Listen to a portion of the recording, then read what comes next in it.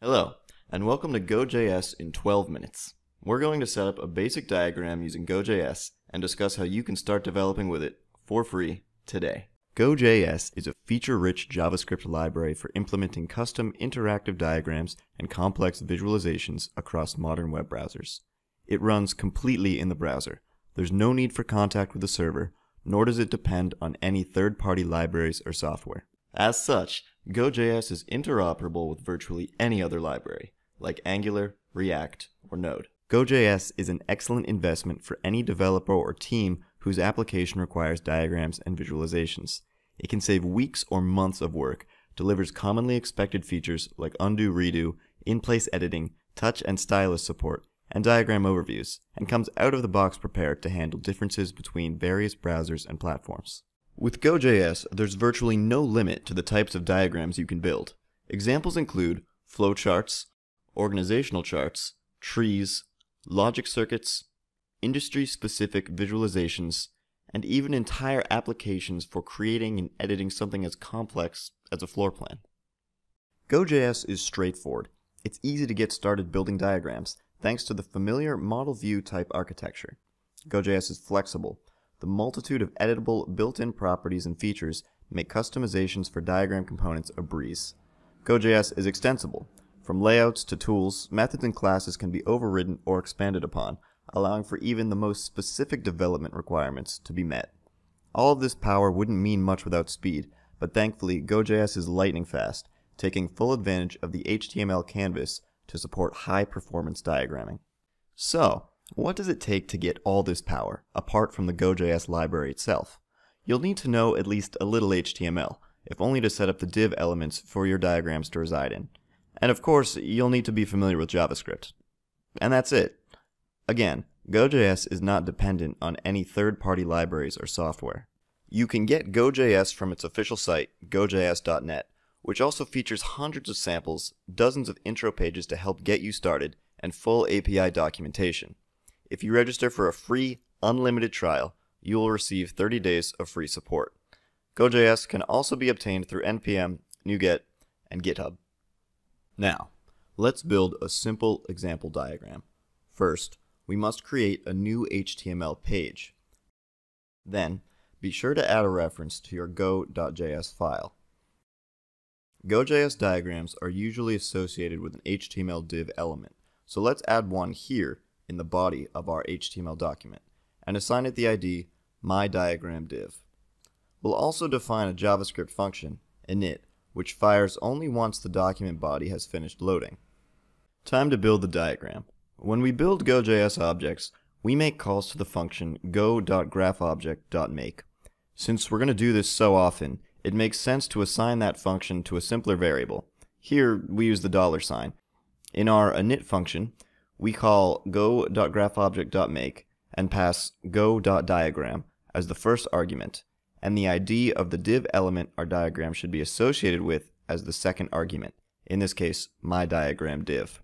We store a reference to this diagram in the variable myDiagram. We specify the size of the diagram by assigning the height and width of the div element in its CSS. Let's set width and height both to 300 pixels. Let's also give it a border so we can see it more clearly. Now we have a diagram, but nothing in it. We need to give its model some node and link data. Let's create two arrays, one for node data and one for link data. Let's add two elements to the node data array.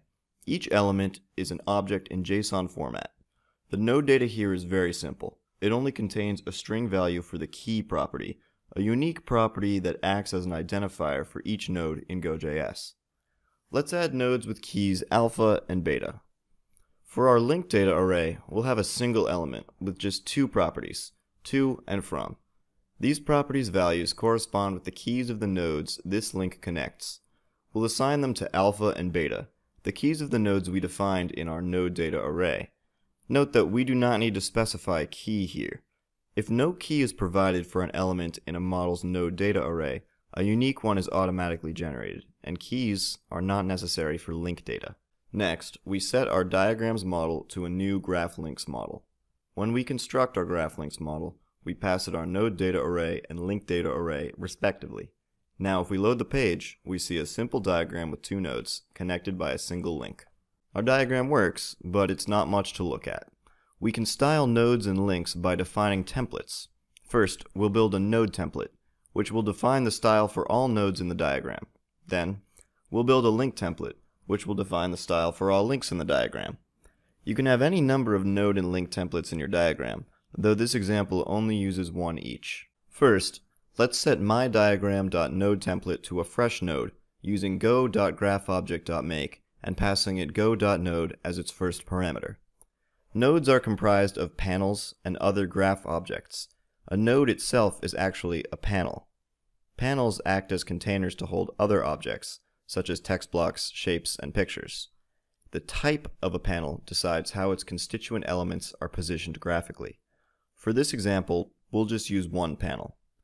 Since the first argument we passed to go.graphobject.make was go.node, the second argument corresponds with the type of panel that will be used for the node as a whole.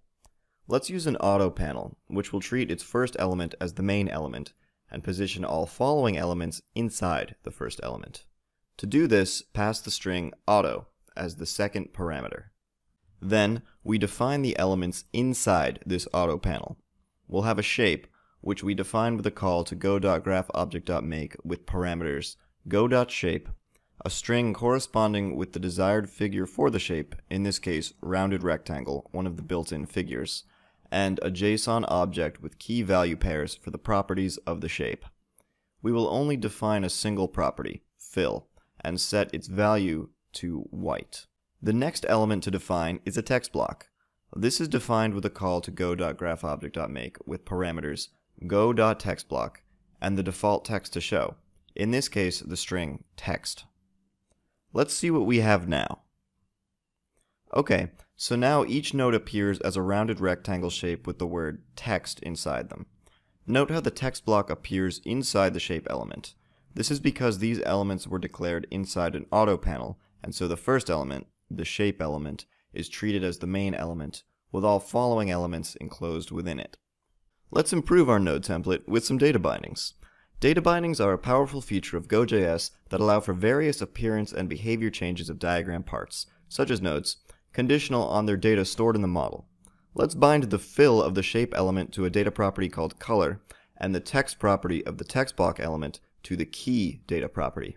First, let's update our node data so the data bindings in the node template will have data to work with. We already have key properties in the node data array, but we need to add the color property for each node. Let's add color lime and color cyan for alpha and beta, respectively. Now, to add a data binding to the shape, we pass a new go.binding instance after the properties object. The first parameter corresponds with the shape property being bound. The second parameter corresponds with the data property to bind the first property to. In this case, fill is the first property and color is the second we can bind the text of the text block to the key property in node data the same way, by passing a new go.binding to the text block element of the node template with the parameters text and key. Now see what we have. It's looking better already. Let's style the links as well. This time we'll define my diagram.link template, sort of like we did the node template. However, links are different kinds of parts than nodes. They do not need a panel type parameter, and the main element of a link is the first shape, whose geometry is computed dynamically by GoJS. We'll have two shapes in our link template. The first is the link itself, while the second is the arrow that points to the node referenced by a link's to data property. The second shape is assigned the string standard, one of the built-in arrowhead values, to its to arrow property, and null to its stroke property. This ensures it looks like an arrow at the to end of the link, and not like a square at the center of the link. The default shape is a 100 by 100 rectangle, and setting to arrow or from arrow overrides this. We'll also add data bindings to the link elements. For the first shape, the main element that represents the link itself, we'll bind the stroke property to the color data property. For the second shape element, we'll bind the fill property to the color data property. This will make the link appear as whatever color is stored in the link's data. Let's make our link red by setting its color property in the link data array. We can also change the appearance of our nodes and links by editing some built-in properties on their elements. First, let's set the margin of the text block element in our node template to 10. This creates some room around the text. We'll also set the stroke width of the first shape element in our link template to 3, making our links a little bit thicker than normal. Now, let's look at what we have. There are hundreds of properties that can be edited for GoJS graph objects. Organizing nodes and links together is made easy with groups. Groups will treat a collection of nodes and links as though they were a single node. We can create a group by adding a new element in the node data array, zeta, and setting the isGroup property to true. Then we add two new nodes to the node data array, delta and gamma, set their color property, and assign their group data property to the key of our new group element, zeta. We can also link to our new group simply by adding an element to the link data array from, say, alpha to zeta. The link will point to the group, not a specific member of the group. Now look at the result. We could further style our groups by defining a group template, as we did for our node template and link template. For now, this is enough. Keep an eye out for future videos that will explain, in depth, how to define complex templates with various panels and elements. Please note all this code is available for download in the description below. That's it for our coding overview, and that's just the tip of the iceberg. With more features and customization, the possibilities for GoJS applications are limitless. Head over to gojs.net to see hundreds of samples, read more about GoJS features on the intro pages, or peruse the full API documentation. Sign up for an unlimited free trial, and you'll get 30 days of developer to developer support for free.